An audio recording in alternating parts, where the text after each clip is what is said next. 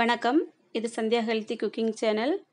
இன்றைக்கி இந்த வீடியோவில் மட்டன் குடல் கூட்டு எப்படி வைக்கலான்னு பார்க்க போகிறோம் அதுக்கு முன்னாடி இது வரைக்கும் நம்ம சேனலுக்கு சப்ஸ்கிரைப் பண்ணாதவங்க மறக்காமல் சப்ஸ்கிரைப் பண்ணிக்கோங்க. ரொம்ப ரொம்ப ஹெல்த்தியான மட்டன் குடல் கூட்டு இப்போ எப்படி வைக்கலான்னு பார்க்கலாம். நான் இந்த மாதிரி மட்டனோட குடல் வந்து நல்லா க்ளீன் பண்ணி எடுத்து வச்சுருக்கேன். இது வந்து இப்போ கடைகள்லேயே நல்லா க்ளீன் பண்ணி கொடுத்துருவாங்க. இருந்தாலும் நம்மளும் ஒரு ரெண்டு டைம் மூணு டைம் நல்லா க்ளீன் பண்ணி நான் மஞ்சள் தூள் எல்லாம் போட்டு க்ளீன் பண்ணி எடுத்து வச்சுருக்கேன். இதை குக்கரில் சேர்த்து ஒரு ரெண்டு கப் அளவுக்கு தண்ணி சேர்த்துருக்கேன். இதை ஒரு நாலு விசில் வச்சு நான் வேக வைக்க போகிறேன் இது கூட கொஞ்சம் மஞ்சள் தூளும் சேர்த்து வேக வச்சிடலாம் இப்போ இது நல்லா வெந்துட்டு தண்ணியெல்லாம் வடித்து எடுத்து வச்சுருக்கேன். ஒரு கப் அளவுக்கு தண்ணி இருந்தது. இந்த தண்ணி வேஸ்ட் பண்ண வேண்டாம். அதை வந்து அப்படியே சூப்பாகவே குடிக்கலாம். ரொம்ப ஹெல்த்தியாக இருக்கும். இப்போ வந்து இது ஆறுனதுக்கு அப்புறமா நம்ம நல்ல பொடியாக கட் பண்ணி எடுத்துடலாம் இந்த மாதிரி வேக வச்சதுக்கப்புறம் கட் பண்ணோம்னா கட் பண்ண ரொம்ப ஈஸியாக இருக்கும். இப்போ இது எல்லாமே ஒரே சைஸாக இருக்கிற மாதிரி கட் பண்ணி எடுத்து வச்சுடுவோம்.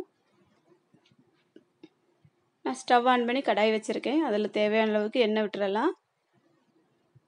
எண்ணெய் சூடாகுனதும் பட்டை கிராம்பு ஏலக்காய் அன்னாசிப்பூ பிரிஞ்சி இலை கொஞ்சம் சோம்பு எல்லாம் சேர்த்து நம்ம நல்லா வறுத்துடலாம் அது கூட நான் ஒரு கப் அளவுக்கு சின்ன வெங்காயம் பொடியாக கட் பண்ணி எடுத்து வச்சுருக்கேன். பெரிய வெங்காயம் சேர்க்குறத விட சின்ன வெங்காயம் சேர்த்தோன்னா இன்னும் நல்லா டேஸ்ட்டாக இருக்கும். இது கூட ஒரு ரெண்டு பச்சை மிளகாய் கட் பண்ணி சேர்த்துருக்கேன். இது ஓரளவுக்கு வதங்கினதும் கொஞ்சம் கறிவேப்பிலை கொஞ்சம் இஞ்சி பூண்டு பேஸ்ட்டு எல்லாம் சேர்த்து நல்லா வதக்கி எடுத்துடலாம்.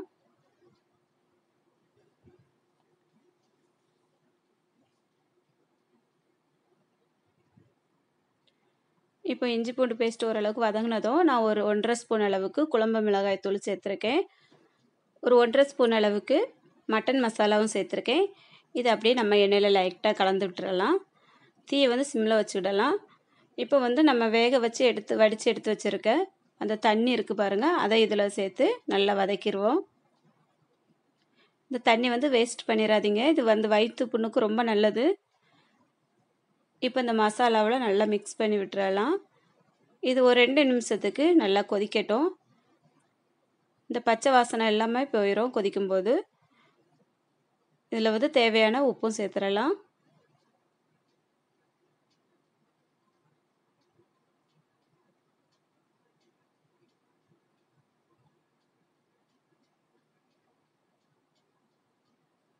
இப்போ இந்த மசாலா நல்லா கொதித்து பச்சை வாசனை எல்லாம் போயிட்டு இதில் நம்ம கட் பண்ணி எடுத்து வச்சுருக்க குடலை அப்படியே சேர்த்துடலாம். இது நல்லா மிக்ஸ் பண்ணி விட்டுருவோம். இப்போ வந்து காரம் எல்லாம் கரெக்டாக இருக்குதான்னு பார்த்துடலாம் ஒரு டைம் இந்த மட்டன் குடல் வந்து ரொம்ப நல்லது வயிற்று புண்ணுக்கு. இது வந்து எல்லாருமே சாப்பிடலாம்.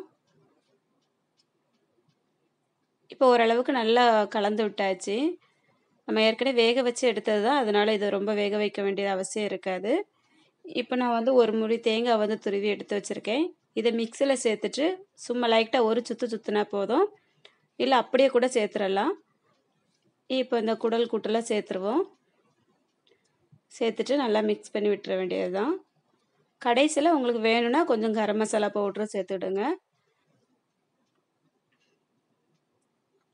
இதை நல்லா மிக்ஸ் பண்ணி விட்டுருவோம். மிக்ஸ் பண்ணி விட்டுட்டு கடைசியில் கொஞ்சமாக மல்லியில் தூவி இதை இறக்கிற வேண்டியதுதான். அவ்வளோந்தான் ரொம்ப ரொம்ப டேஸ்டான மட்டன் குடல் கூட்டு ரெடி ஆயிட்டு.